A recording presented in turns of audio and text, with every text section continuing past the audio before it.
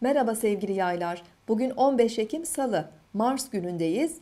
Bugün evde zaman geçirmek isteyebilirsiniz. E, gün içerisinde biraz sakin kalmak, dinlenmek e, ve tatilin e, tadını çıkarmayı hedefleyebilirsiniz. Ancak aile içi ilişkilerin de yoğun olması beklenebilir. Aileyle birlikte bir araya gelip e, gözden geçirmek istediğiniz konuları da hep birlikte tartışabilirsiniz.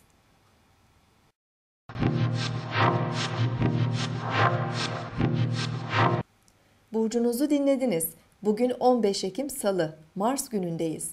Balık burcunda ilerleyen ay duygusal enerjimizi yükseltebilir.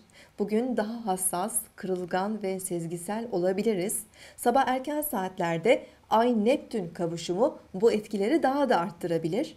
Bu sabah özel rüyalar görebilir, bazı mistik deneyimler yaşayabiliriz. Manevi ve ruhsal faaliyetler için sabah saatlerinde enerjiler daha uygun olacaktır. Ancak zihinsel olarak dalgın ve değişken olabileceğimiz için detay gerektiren işlere konsantre olmakta da zorlanabiliriz bugün. Öğleden sonra oluşacak Ay-Venüs karesi ilişkilerimizde bazı karışıklıklar ve gerginlikler yaratabilir. Özellikle bayanlarla olan ilişkilerde daha dikkatli olmalıyız. Bugün enerji gezegenimiz Mars burç değiştirecek. Aslan burcundan ayrılıp Başak burcuna geçecek. 8 Aralık'a kadar Mars Başak Burcu'nda ilerleyecek. Bu süre içerisinde enerjiyi işimize yöneltme, sağlık, hizmet, görev konularında daha titiz ve çalışkan olabiliriz.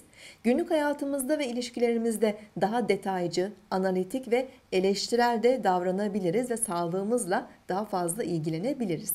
Yarın tekrar görüşmek üzere. Hoşçakalın.